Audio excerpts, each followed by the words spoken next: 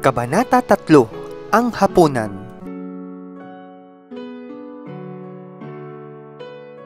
Ang hapunan ay sama-samang kainang ginaganap tuwing gabi. Ang masayang hapunan kasama ang pamilya ay mahalagang kaganapan na nagpapatibay ng relasyon sa bawat isa. Sama-samang nagdarasal bago kumain ay napakahalaga dahil ito'y tanda ng pasasalamat sa ating Panginoong Diyos. Nagtungo ang mga panauhin sa harap ng hapagkainan. Mababanaag sa mukha ang kanilang nararamdaman. Siyang-siya si Padre Sibila, samantalang pagkainis naman ang makikita kay Padre Damaso. Sinisikaran niya ang lahat ng madaanang upuan, maging ang mga kadete ay kanyang sinisiko. Wala namang imik ang tinyente. Ang ibang bisita naman ay magiliw na nag-uusap at pinupuri ang masarap na handa ni Kapitan Tiago. Si Doña Victorina ay nagalit sa tinyente sapagkat natapakan nito ang buntot ng kanyang bestida dahil ang tinyente ay nakatingin sa kulot ng Donya.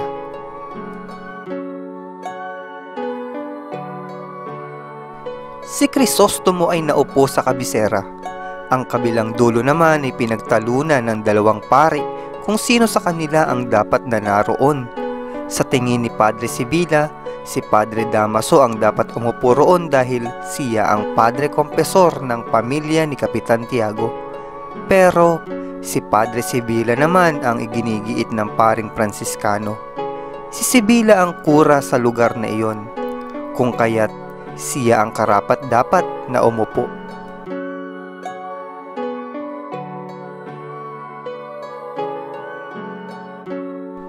Anyong uupo si Sibila. Napansin niya ang tinyente at nagkunwaring iaalok ang upuan. Pero tumanggi ang tinyente sapagkat umiiwas siyang mapagitnaan ng dalawang pari. Sa mga panauhin, tanging si Ibarra lamang ang nakaisip na anyayahan si Kapitan Tiago. Pero kagaya ng may karaniwang may pahanda, magalang na tumanggi ang kapitan. Si Lukulo ay di kumakain sa bahay ni Lukulo.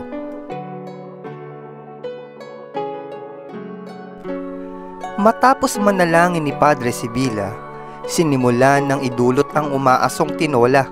Lalong sumama ang loob ni Padre Damaso ng ihain ng pagkain. Mangyari ay leeg at pakpak ng manok na lumulutang sa maraming sabaw ang napunta sa kanya. Ang kay Crisostomo ay laman loob ng manok hindi alam ng pari na sadyang ipinaluto ng kapitan ang manok para sa binata. Habang kumakain, tinanong nila Ruha si Crisostomo kung ilang taon siyang ng ibang bansa.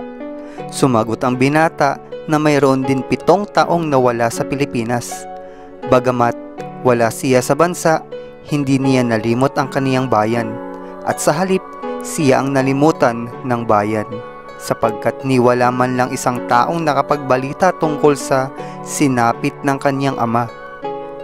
Dahil sa pahayag na ito ni Crisostomo, tumibay ang paniniwala ng tinyente na talagang walang alam ang binata sa tunay na dahilan ng pagkamatay ng kanyang amang si Don Rafael.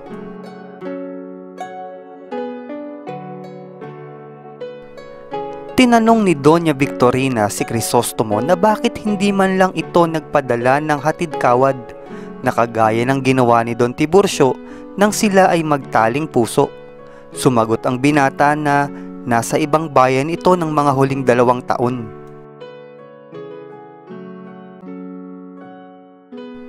Nalaman ng mga kausap ni Crisostomo na maraming bansa ang napuntahan nito at maraming wika ang kaniyang alam ang katutubong wikang natutuhan niya sa mga bansang pinupuntahan niya ang ginagamit niya sa pakikipagtalastasan.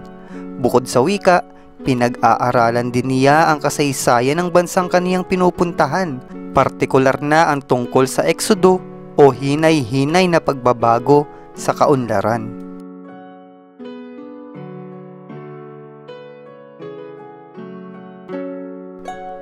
Ipinaliwanag ni Crisostomo na halos magkakatulad ang mga bansang napuntahan niya sa tema ng kabuhayan, politika at relihiyon. Pero nangingibabaw ang katotohanang nababatay sa kalayaan at kagipitan ng bayan. Gayon din ang tungkol sa ikaaalwan at ikahihirap nito.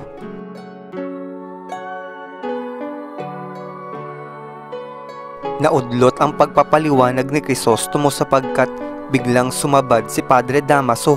Walang pakundang ang ininsulto niya ang binata. Sinabi niyang kung iyon lamang ang nakita o natutuhan ni Ibarra, siya ay nag-aksaya lamang ng pera sapagkat kahit na bata ay alam ang mga sinabi nito. Nabigla ang lahat sa diretsang pagsasalita ng pari. Nagpaalam na si Crisostomo. Pinigil siya ni Kapitan Tiago sapagkat darating si Maria Clara at ang bagong kura paroko ng San Diego. Hindi rin napigil sa pag-alis ang binata. Pero nangako siyang babalik kinabukasan. Tumalak ng tumalak si Padre Damaso nang umalis Crisostomo. Binigyang diin niya ang gayong pagkilos ng binata ay tanda ng kaniyang pagiging mapagmataas. Dahil dito, aniya, dapat na ipagbawal ng pamahalaang Kastila ang pagkakaloob ng pahintulot sa sinumang Indio na makapag-aral sa Espanya. At dito na natatapos ang Kabanata 3, ang Hapunan. Hanggang sa muli, paalam! Oops! Huwag kalimutang mag-subscribe! Salamat!